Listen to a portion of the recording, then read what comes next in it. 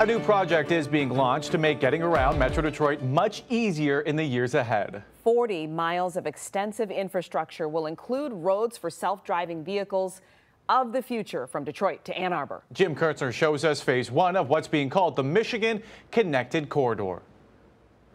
This was a big splashy event. They tout this as changing the future with roads of the future. This Private-public partnership will allow us to work with state and local partners, stakeholders, and communities across the corridor from Detroit to Ann Arbor with a focus on closing the long-standing gaps in access to transit and transportation across the region.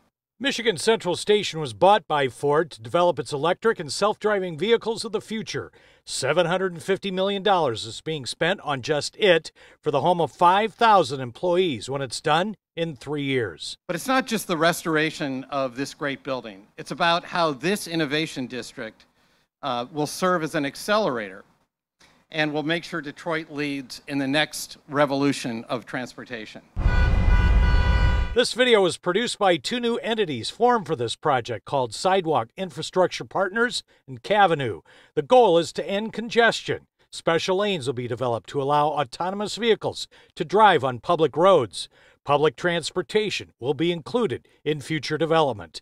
Detroit Mayor Mike Duggan suggested using Michigan Avenue as it's wide enough to be a test track. It's next to Ford's major development. Right now, they're being tested in places like Arizona. You can't expect us to be at the cutting edge on the design side if government isn't the same.